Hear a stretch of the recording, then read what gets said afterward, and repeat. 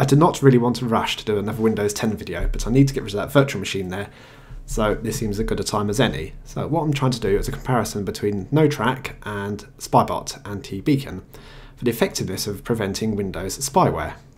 So I'm using Wireshark at the moment, and if you don't know what Wireshark is, it records the network activity going in and out of your computer. So one line is one packet. Now at the moment I'm focusing on DNS, which is purely the lookups that your computer would do when it wants to request a website or connection to another server.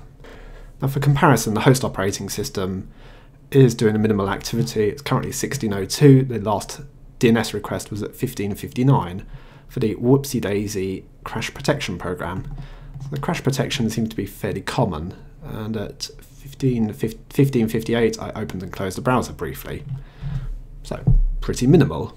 Gives you a bit of a baseline to go with.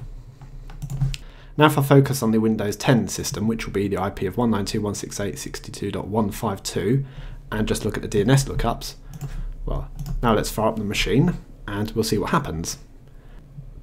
So immediately the first connection to msftncsi.com is to determine whether the computer has a network connection. The method that Wireshark uses to record the DNS packets is the first one. You've got a standard query is the host computer, and then standard query response is the remote server, and you can confirm that by looking at the source and destination IP addresses. In this instance, my DNS server is 192.168.62.2. Now that happens to be the NoTrack device. So NoTrack is the DNS server. Now I'm just going to leave this sat there doing nothing. I'm not going to interface with it. As far as the programs that are on the system, I've got Skype and I've got some Logitech application just for doing the webcam.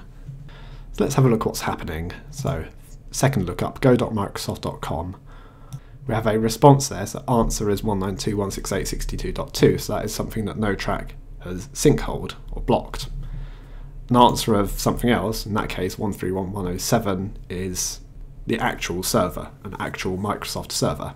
Vortex windata.microsoft.com sinkhold. IPv6.microsoft.com, yeah, that's allowed. Config.skype.com, that's blocked. That's not actually Skype. Microsoft play really dirty and use some of their other services to actually be the spying domains. This is something I've learned as I've used the system and been blocking things. You can actually block a lot of sites and it has no visible impact to the computer. Look, Bing, MSN, I didn't request any of those. IPv4.ARPA, mm, that's not really an actual lookup. Bing, live.com, mm, that's blocked. Client login.skype, mm, no it isn't. Telemetry.microsoft.com, that's definitely a spying domain. That's, that's two minutes of network activity. I'm going to leave this for a moment and we'll come back to it after it's sat there and done nothing for a bit longer. The operating system has now been on for about 15 minutes, so let's continue to look through what it's done. So I got connections to Windows Update, yep, reasonable enough, that's forced on you. More spying, possibly more spying here, I'm probably going to look at blocking this one now. I've looked at what it's doing and it's happening while I'm supposedly doing nothing on the machine. I've Got this one with a bit of a suspicious looking address on there. Could be something tracking in that. Tying down to the individual machine? Mm, maybe not. Don't know. What I will say is now that I've got rid of all the tiles, Twitter and Windows Weather are no longer appearing. So there's actually quite a few things that disappeared with that. So telemetry, answer of NoTrack. VeriSign's a legitimate domain. That's a, to do with SSL certificates.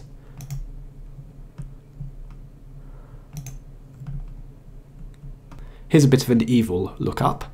So if you look at this, 161736.92 spynet.2.microsoft.com. Then immediately at 16173704, so well just over 0.10 of a second, it goes to an alternate website, spynetalt.microsoft.com. Hmm. Quantity of traffic is significantly lower with the tiles missing. Now I've turned all privacy settings off as much as I can, But to be honest, there are only two settings of on and on. SimCB is Symantec. Why was that request made? I have no Symantec software on any of my computers. Very strange. Anyway, get me to Google. Get me to a proper search engine. Spybot anti-beacon.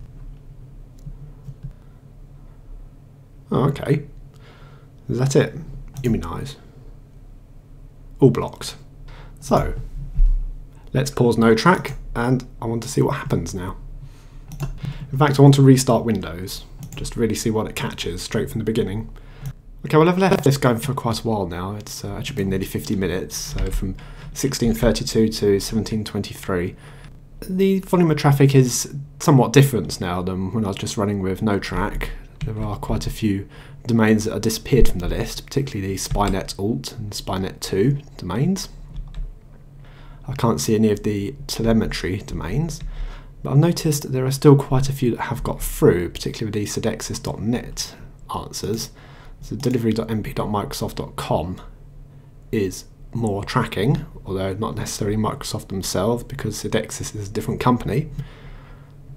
One of the popular domains, if you ever look for Cedexis Radar, Symantec still getting through. So all in all, it is an improvement. Somewhat simpler to set up than NoTrack, I do appreciate that. Although I'm only looking at one specific part, NoTrack does cover wider internet usage. So it's getting a bit slow because I've been running it for some time now. I've got masses of Windows updates come down the packet. This is probably at the point now I should be splitting the packet up, but never mind. 23, 43, 75, 27, connection 23, 43, 75, 27, that's that one. So right click, follow, follow TCP stream. We can see a connection has taken place. What exactly has gone on there, I don't know, but that is uh, rather a short communication there. End of capture exceeded. Okay. Oh, thanks. You could have just kept that going, but there we go. There. So that's a rather odd URL to get.